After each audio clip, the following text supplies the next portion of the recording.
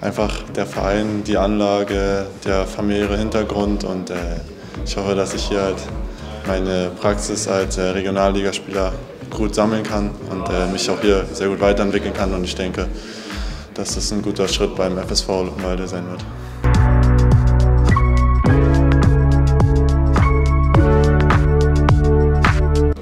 Persönlich für mich so viel Spielpraxis wie möglich zu sammeln und ja, ich denke mit der Mannschaft da werden wir das intern nochmal regeln, aber natürlich die bestmöglichen Ergebnisse zu erzielen und äh, hoffentlich wieder im Pokalfinale zu stehen. Das wäre natürlich ein super, super Ziel.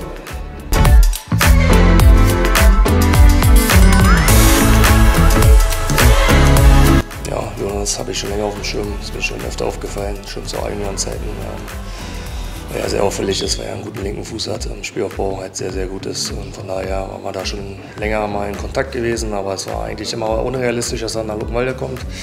Und dieses Sommer hat sich dann relativ spontan ergeben und bin ich sehr froh, dass er hier ist.